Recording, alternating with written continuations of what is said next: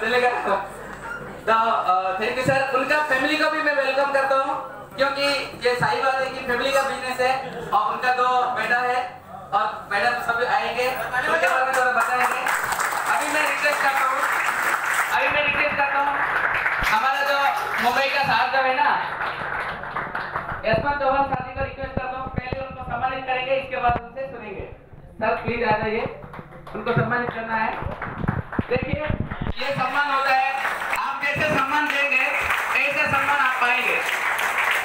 Is the record breaking superstar से chairman direct superstar से chairman पहला व्यक्ति इन इंडिया इन आईएमसी पहला व्यक्ति है जो कि इतना बड़ा मुकाम हासिल कर लिया।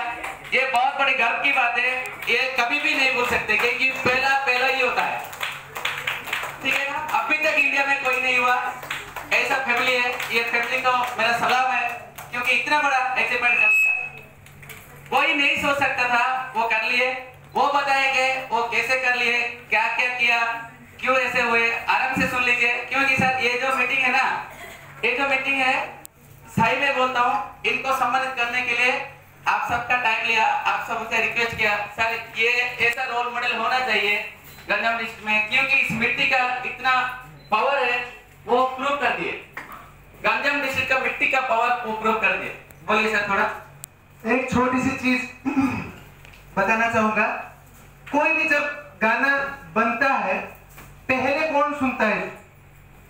वो सिंगर खुद, नहीं? हम लोगों का मतलब भाग्यशाली इतना है हम लोग कि पूरा आईएमसी इंडस्ट्री में ऐसा कोई आदमी आज तक सोचा ही नहीं कि सुपरस्टार के बाद चेयरमैन बन जाएगा। और इन्होंने सोचे, पहली बात है क्योंकि सक्सेस तभी मिलता है जब आप सोचेंगे। दूसरा चीज़ हम लोग इतने भाग्यशाली इसलिए है कि इनको हम लोग पहले सुनेंगे। क्यों? यस क्योंकि हम लोग इनको पहले सुनेंगे कि ये पहले कैसे?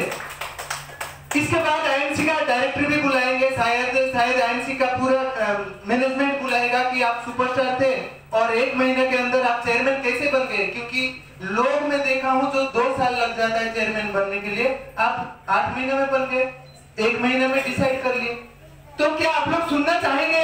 पंद्रह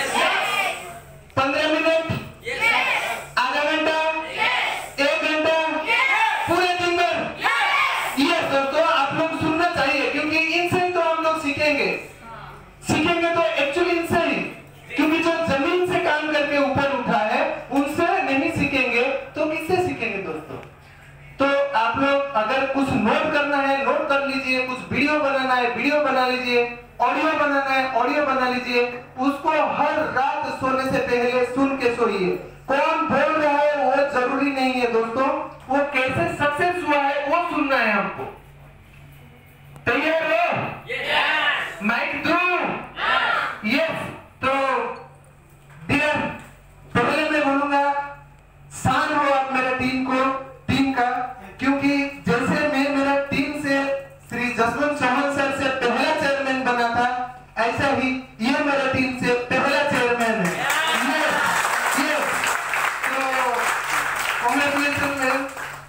आप लोग चारों, जैसे आप लोगों के लिए पूरा आधा घंटा टाइम है, जो सिखाएँगे, हम सीख जाएँगे, जो बताएँगे, हम उसको ले जाएँगे।